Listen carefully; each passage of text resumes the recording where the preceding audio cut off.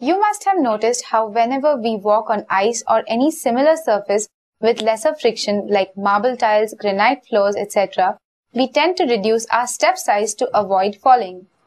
Now, take a look at the dynamics of walking. While walking, the rear leg presses the ground as shown in the animation. The earth in turn exerts a reaction force on the man. This reaction force is equal and opposite to the pressing force and has two components. The vertical component is what we call normal reaction and the horizontal component is actually provided by friction. Since the friction is in the forward direction, this foot accelerates us in the forward direction.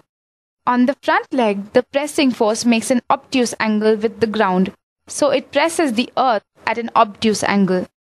The reaction force by earth is equal and opposite. Take a look at this reaction force. Its vertical component is what we call normal reaction. The horizontal component of this reaction force is in backward direction and is provided by friction. Thus, the front leg retards us. Let's suppose that when the person walks on concrete surface, the reaction force on his front leg makes an angle alpha with the ground. The horizontal component is provided by friction. Now, if he keeps the angle of his front leg the same and walks on ice or any other surface with low friction coefficient, the low frictional force fails to provide the horizontal component of the reaction force exerted by earth.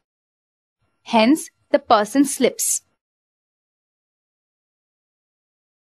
Now, if he makes the length of his steps short, by doing so he's actually increasing the angle made by his leg with the ground. So the reaction force now acts at a greater angle with the ground. Thus, the vertical component of the reaction increases and the horizontal component reduces. This in turn means that now the normal reaction will increase and a low frictional force will be required to provide the horizontal component of the reaction force. So surfaces with low friction coefficient like ice can also provide this reduced horizontal component of reaction force and the man can avoid falling